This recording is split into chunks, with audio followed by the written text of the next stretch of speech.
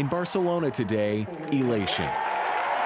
Separatists consider this the birth of their own independent state. It's a long time we're waiting for this moment. We deserve this. The historic independence vote came in the Catalan parliament. Opposition MPs would have none of it, some declaring their allegiance to Spain, then walking out. The nationalist majority still cast their ballots. Sí. Sí. Sí.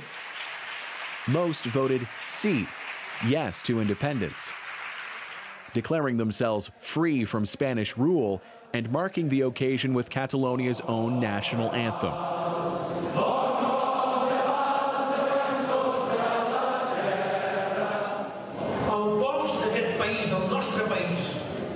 Separatist leader Carles Puigdemont called on Catalans to maintain the peace, public spirit, and dignity, as we've always done, he said. The police crackdown on the disputed independence referendum October 1st still fresh in the minds of many, enough for some to fear how Madrid will respond this time. It's not a question of will. At a certain point, there will be an incident, and then that could trigger a serious confrontation, and nobody knows what can happen. So far, the government's answer has been peaceful but unprecedented. The Senate authorized Prime Minister Mariano Rajoy to impose direct rule, stripping Catalonia of its regional powers, a move never tested since Spain regained democracy. Tonight, the Prime Minister started wielding that new power. Les informo que hoy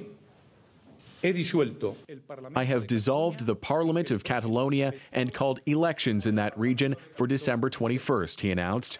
The Catalan president has been sacked, so too has the regional police chief. But in Barcelona, the party continues. A day of political fireworks is giving way to an uncertain future. Thomas Daigle, CBC News, London.